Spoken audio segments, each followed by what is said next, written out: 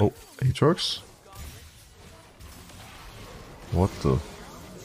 What are you doing? Oh, Vex. It's a Vex cap. She has another ult. Hit him as well. Oh my god, what a champion.